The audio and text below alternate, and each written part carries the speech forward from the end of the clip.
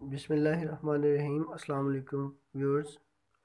Punjabi food lab की एक और रेसिपी के साथ आपकी खिदमत में हाज़िर हैं। आज हम जो बनाने जा रहे हैं कड़ी पकौड़ा, जो कि पंजाब की बहुत ही ट्रेडिशनल और रवायती डिश है। और तकरीबन गर्मियों में हर घर में एक से दो बार सीज़न में आराम से बनी जाती है। इसमें थोड़ी सी मेहनत ज़्यादा होती है। तो कड़ी पकौड़ा बनाने के लिए हमें जिन चीज़ों की ज़रूरत है ये देख लेते हैं। ये बेसन है जी।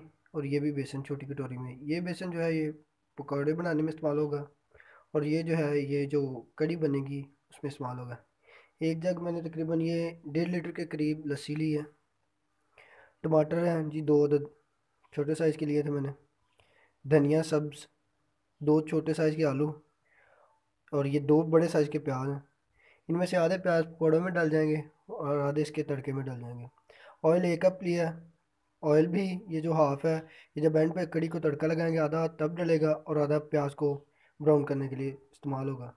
ग्रीन और खुश्क मसालों में जो चीज़ें चाहिए वो बताता हूँ मैं आपको। ये चार से पाँच मैंने हरी मिर्चें ली हैं। ये है जी लहसुन का पेस्ट, ये तकरीबन दो टेबल स्पून है। ये दो टेबल स्पून ही अदरक का पेस्ट है। सूखा धनिया, ये भी दो टेबल स्पून है। ये एक टेबल स्पून गर्म मसाला है हल्दी एक टेबल स्पून नमक हंसपे ज़रूरत। ये है जी कसूरी मेथी दो टेबल स्पून है और लाल मिर्च ये भी दो टेबल स्पून है कप में से मैंने आधा ऑयल डाल के जी फ्लेम ऑन करके चूल्हे पर रख दिया है। अब ये जो प्याज है हमारा, वो इसमें डाल देंगे। इसको लाइट ब्राउन करना है, ज़्यादा ब्राउन नहीं करना, हल्का सा इसको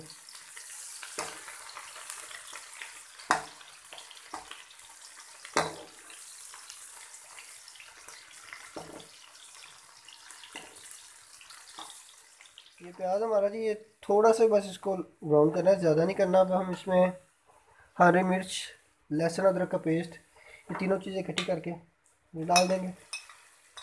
उसके साथ ही ये हम टमाटर भी जो है हमारे पास चॉप किए, ये भी डाल देंगे। मीडियम फ्लेम पे मैंने इनको 10 से 15 मिनट मसालों को फ्राई कर लिया है।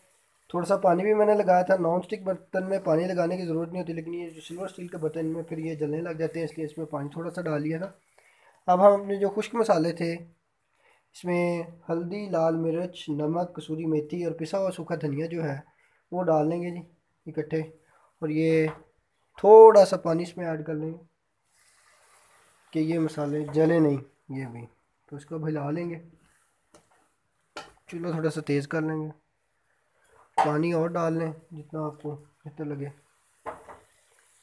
इनको हिला लें। अच्छे से मिक्स कर लेना है इनको। और इनको भी पाँच से दस मिनट अच्छी तरह इसमें फ्राई कर मसालों को भी मैंने जी फ्राई कर लिया हुआ है। इसमें अब वो जो बेसन था एक कटोरी में वो और पानी के साथ ग्राइंडर में मैंने उसको मिक्स करके लस्सी के साथ सॉरी तो ये डाल देना। इसके साथ ही ये जो बना था पेस्ट बेसन और लस्सी का वो भी डेढ़ लीटर है, डेढ़ लीटर के करीब पानी। अगर ये आपको लगे कि ये मरकब जो है, ये ज़्यादा यानी कि पेस्ट इसका ज़्यादा गाढ़ा हो रहा है तो इसको आप पानी को ज़्यादा भी डाल सकते हैं। ये बाद में चेक करके देख लेंगे, अगर कम हो तो मैं आपको बता दूँगा कि कितना और डाला है। ये जी मैंने पानी और डालने लगा हूँ। ये तकरीबन डेढ़ लीटर पानी पहले मैंने डाला, डेढ़ लीटर वो लस्सी और बेसन का पेस्ट बना था, और ये एक लीटर पानी मैं और डालने लगा हूँ। ये डाल के इसको आपने प्रॉपर हिलाते रहना है वरना ये बेसन और लस्सी की गुटलियाँ बन जाएँगी। ये जब तक इसमें उबाल नहीं आएगा तब तक हम फ्लेम को हाई रखेंगे। जब उबाल आ जाएगा तो फिर हमने लो फ्लेम पे इसको कम से कम दो घंटे के लिए पकने के लिए छोड़ देना है। लेकिन चम्मच इसमें प्रॉपरली चलाते रहना कि गुटलियाँ जी कड़ी में हमारे उबाल आ गया। अब हम आँच को लो कर देंगे। फ्लेम पहले आई था लो कर देंगे। दूसरे तो तरफ़ दूसरे चूल्हे पे हम अब पकौड़ों का मसाला तैयार कर लेंगे। और इसको गाहे बगाहे हिलाते रहना है कि गुटलियाँ ना बनिए गुटलियाँ ना बन जाए जी हमने पेस्ट तैयार कर लिया बेसन का पकौड़ों के लिए। ऑयल भी गर्म हो गया हमारा अब हम इसको इसमें डाल देते हैं। और इस चम्मच की मदद से पकौड़े हम इसमें डाल देंगे ऑयल अब थोड़ा सा कम गर्म है सब पकौड़े डालते जाएँगे वन बाय वन करके। और पकौड़े साइज़ में छोटे रखने हैं ताकि अंदर से अच्छी तरह ये पक जाएँ।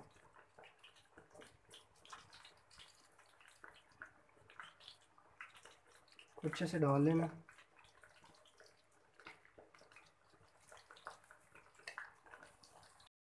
चूल्हे पे हमने पकौड़े तैयार करने शुरू कर दिए हैं।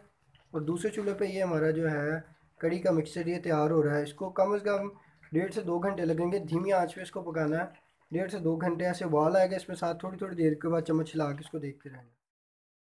ये जी दो घंटे कड़ी पकने के बाद इसकी ये कंडीशन हो गई, इतनी गाढ़ी हो गई।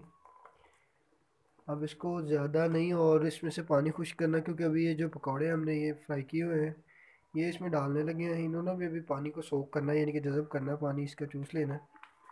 तो ये जी हम इसमें डाल देंगे। और इसको अब हम आराम से इसके अंदर वन बाय वन इनको डिप करते हैं सब पकौड़ों। ये जब पकौड़े ऐड करने साथ ही इसमें ये सब्ज़ धनिया जो है इसके ऊपर ऐसे डाल देना। अभी इसको तड़का रहता है ज़ीरो को लगाने वाला, वो लगाएँगे हम बाद में। अभी कुछ देर के लिए इनको ऐसे छोड़ देना कि वो जो पानी मैंने आपको बताया कि सोख करना पकौड़ों ने वो कर लें। तो पकौड़े डालने के बाद जी तैयार हो गया था हमारा सारा कड़ी वाला साहब और ये अब हम इसमें ज़ीरा डालेंगे। और उसको थोड़ा सा फ्राई। ज़ीरा मैंने पैन में डाल के जी गरम कर लिया है इसको। थोड़ा सा फ्राई करना ज़्यादा नहीं करना। इसका हमें ये हमारा फ्राई हो गया तैयार हो गया। इसको हम इसमें डाल के। माशाल्लाह जी ये कड़ी हमारी बहुत ही अच्छी तैयार हुई है। वीडियो पसंद आने की सूरत में वीडियो को लाइक कर दीजिएगा, चैनल को सब्सक्राइब कर दीजिएगा और बेल आइकॉन ज़रूर प्रेस कीजिएगा। अगली वीडियो तक के लिए मुझे इजाज़त दीजिए। अल्लाह हाफिज़।